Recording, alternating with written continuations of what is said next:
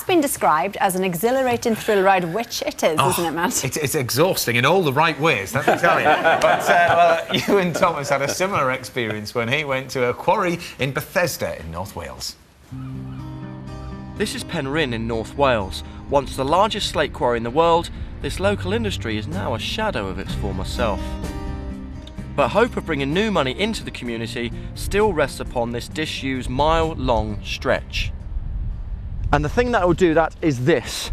1800 foot up, travelling at speeds of up to 90 miles per hour, I'm one of the first people to travel on this brand new tourist attraction.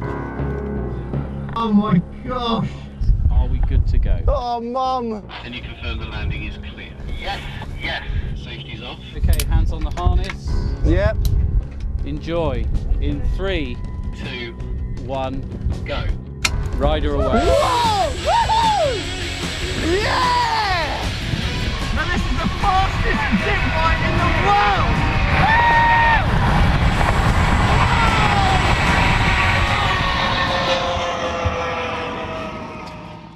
During its glory days of the 1890s, Penrhyn Quarry employed around 2,000 workers and produced more than 100,000 tonnes of slate each year.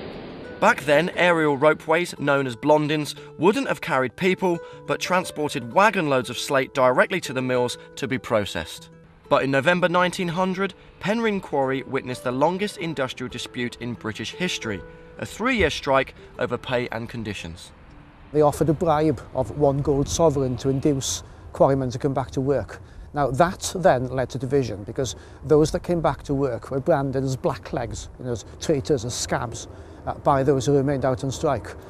Cards like this began to appear in windows in the locality. So this says in Welsh, there is no traitor, there is no blackleg in this house.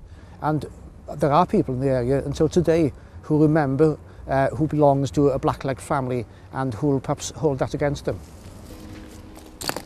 The strike was a disaster for the North Wales slate industry. Thousands of men were laid off and many firms went bankrupt, including my own great grandfather's Thomas Thomas, who owned a slate mine a few miles from here. Today at Penrhyn, modern machinery has replaced all but 200 workers. What the Zip has done now is introduced reuse into this part of the quarry. It's turning the heritage of this quarry into an attraction, and that itself is a good thing, I would say.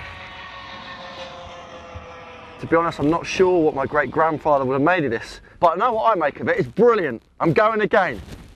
Woo! Whoa! Woohoo! Yeah!